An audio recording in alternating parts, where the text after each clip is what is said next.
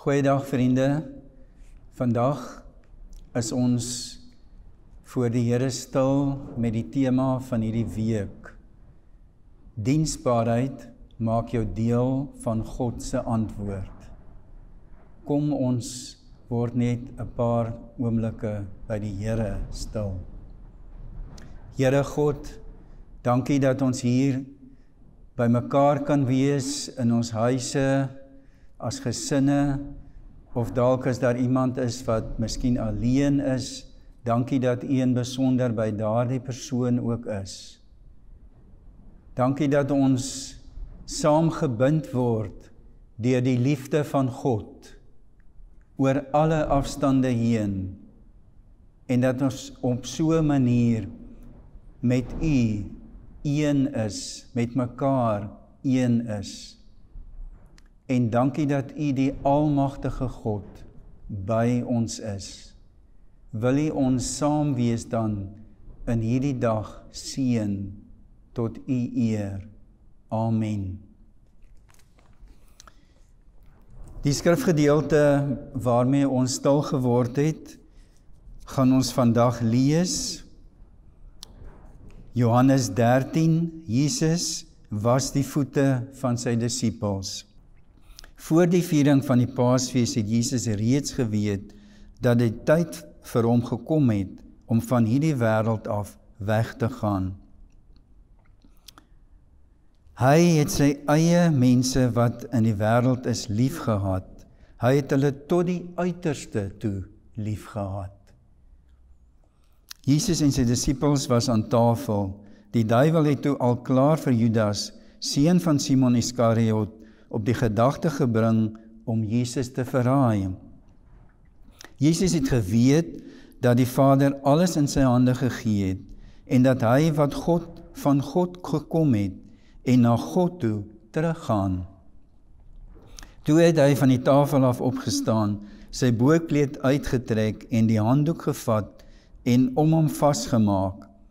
Daarna het hy water in die waskottel gegooi en begin om sy disippels se voete te was en dit dan af te droog met die handdoek wat hy omgehad het. Toe hy by Simon Petrus kom, vra die vir hom: "Here, gaan U my voete was?" En Jesus antwoord hom: "Wat ek doen, begryp jy nie nou nie, maar later sal jy dit verstaan, Petrus." Maar Petrus sê vir hom: "U sal in alle ewigheid nooit my voete was nie." Daarop sê Jesus vir hom: "As ek jou nie was nie, het jy nie deel aan my nie." Simon Petrus sê toe vir hom: "Here, dan nie net my voete nie, maar ook my hande en my gesig." En Jesus sê vir hom: "Hy wat klaar gebad het, is heeltemal skoon. Hy hoef later niks meer as sy voete te was nie."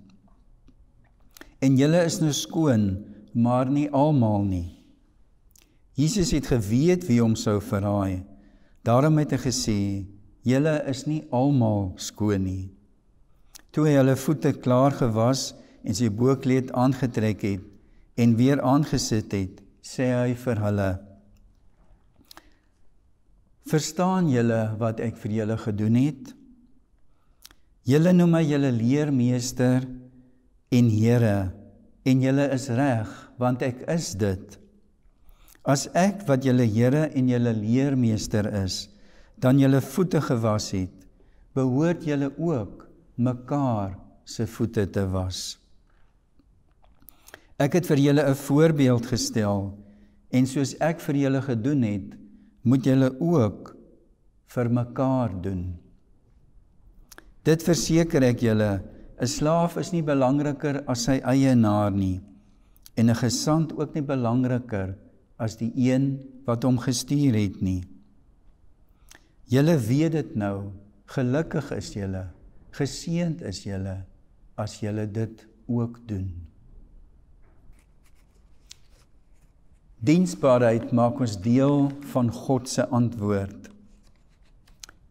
Ons het vroeër gekyk na iemand soos Habakuk en ook Josef en Daniël wat deur 'n baie moeilike tyd in hulle lewe gegaan het.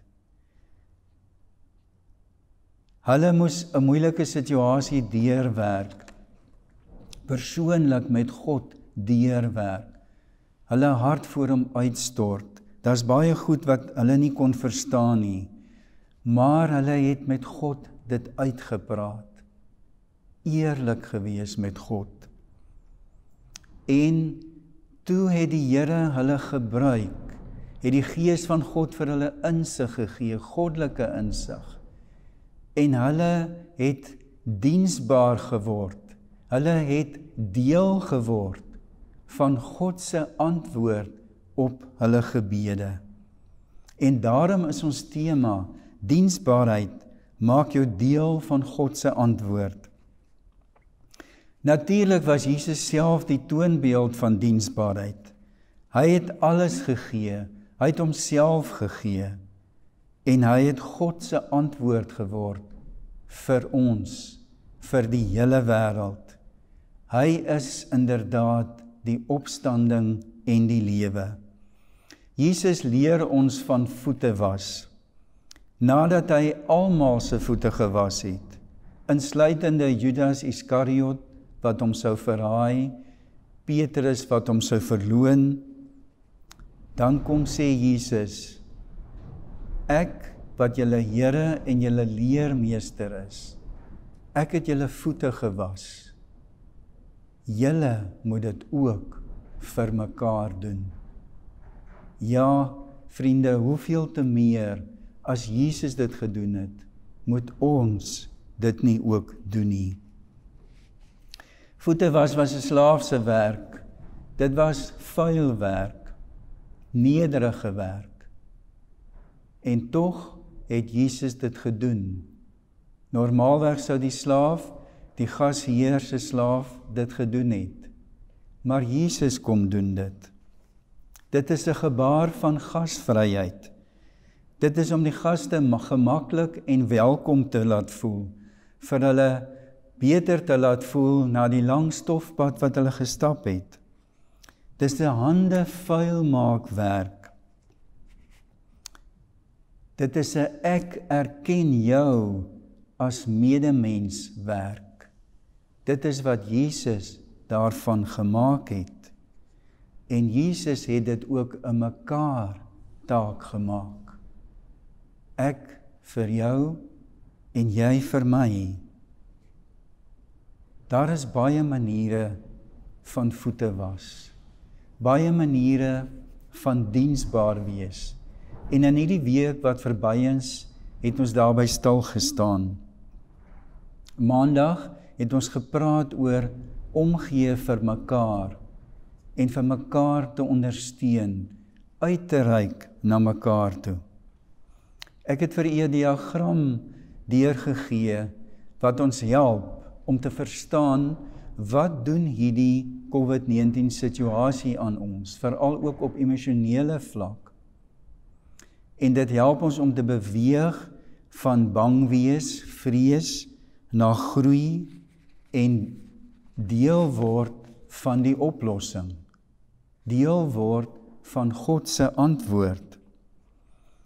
Dinsdag het ons stil gestaan by almal wat honger is mense wat hulle werk verloor het, mense wat swaar kry as gevolg van die COVID-19 situasie. Ons het gedink aan almal wat kos voorsien, wat help daarmee, wat bydra, kospakkies pak, sop en kos maak.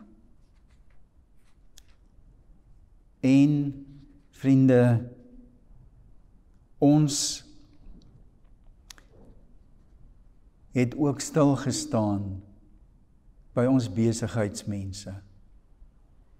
Mense wat dalk hulle besighede verloor het. Mense wat van voor af moet begin hard werk om op te bou. Wat dalk nou weer aan die gang begin kom het of kan oopmaak. Ons bid in besonder ook vir julle. En ons doen 'n oproep op ons gemeenskap ondersteun ons plaaslike besighede. Dan het ons Woensdag by ons mediese mense stil gestaan. Almal van ons ken dalk mediese mense. Ons werkers daar op die voorgrond, ons gesondheidswerkers, ons verpleegsters en dokters by die klinieke in die hospitale. Almal wat werk met hierdie situasie, wat nou onder moeilike omstandighede siek mense moet versorg. Ons dink spesiaal ook aan mense wat siek is as gevolg van COVID-19, wat in isolasie is, kwarantyne is. Mense wat iemand verloor het.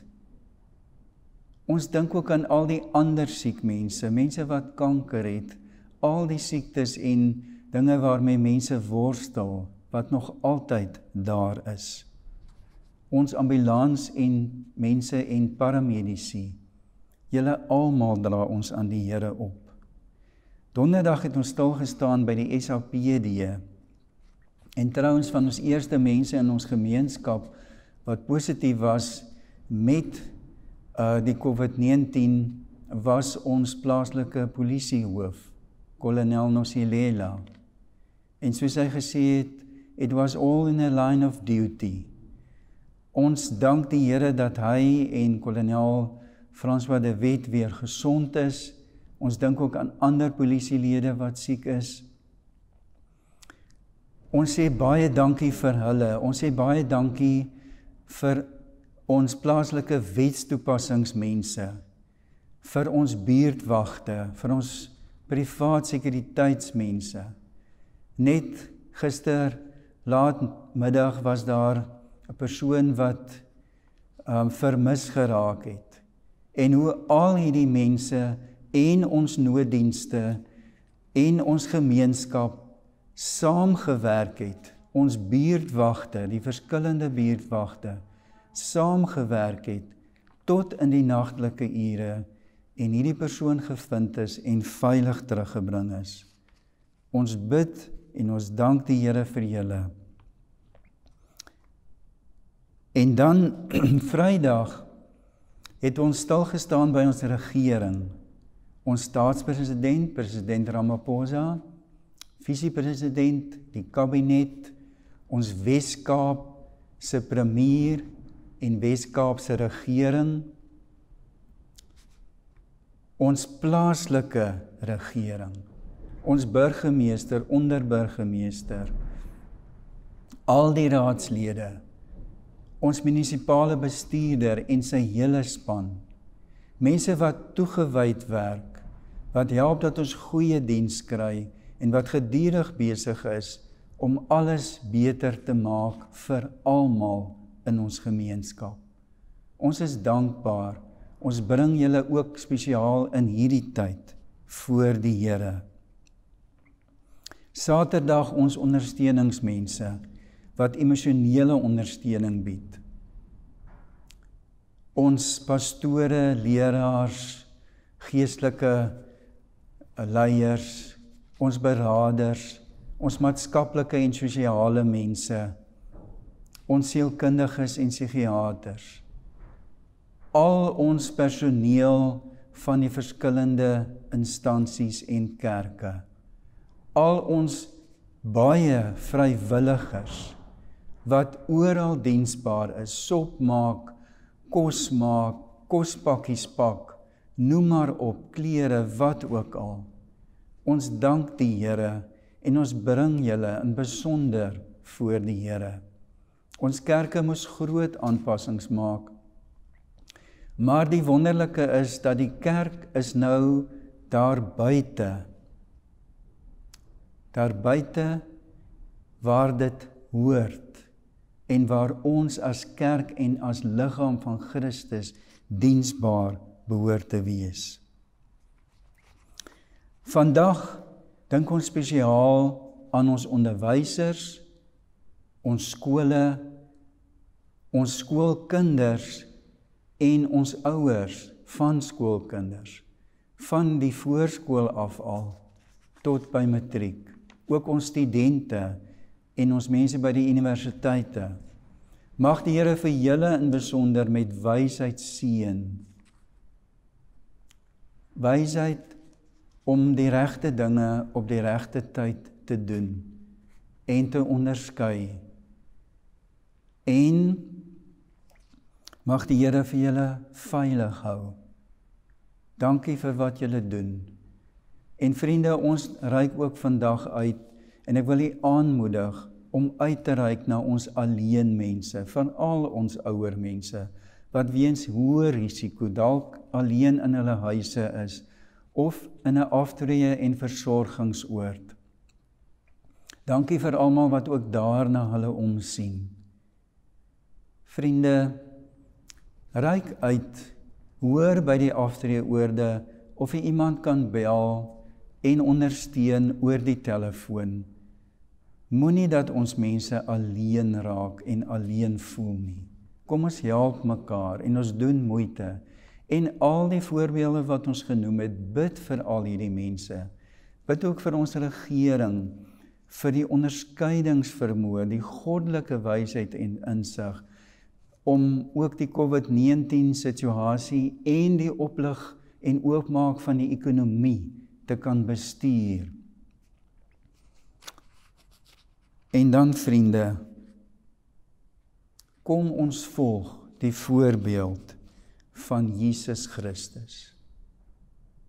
Hy wat voete gewas het, wat homself as 'n slaaf gegee het. Maar hy wat ook sy lewe gegee het as 'n offer vir my en jou, vir die hele wêreld, vir die hele gemeenskap. Kom ons bid die krag van die Gees om Jesus se voorbeeld te volg. En ons gee onsself onvoorwaardelik sodat hy en sy Gees deur ons kan werk. Dat ons deel word van die antwoord op ons gebede. Die antwoord op ons gebede waar ons God vra om ons te lei, te help, te bewaar, te seën en op te lig. En dat hy alles nuut sal maak, dat sy koninkryk deur dit alles sal kom. Kom ons bid saam. Here God, dankie dat U hier is. Dankie dat U by ons is. Dankie dat U vir ons geleer het wat diensbaarheid is. En dankie Here Jesus dat U deur U Gees vir ons oplig vir ons nuut maak vir ons nuwe moed gee en nuwe perspektief gee om deur u krag 'n verskil daar buite te maak. Amen. Vriende, kom ons stap hierdie pad met oorgawe. Ek wil u nooi as u ondersteuning nodig het. Kom kontak ons as leraars ook vir Erika sodat ons vir u kan ondersteun en kan saam bid en dat ons mekaar positief kan help om deel te wees van God se oplossing en antwoord. Mag die Here vir u seën. Ons dink aan die lied wat ons so graag in ons gemeente sing. Kom ons vat as dit ware hande deur die media, deur die telefoon en waar ons tog wel mekaar sien Kom, laat ons dit doen in die woorde van die Here seën en beskerm jou. Die Here verhoor jou gebede. Die Here maak jou deel van die antwoord op jou gebede. Vrede vir jou. Vrede vir jou vir altyd. Amen. Die Here seën u.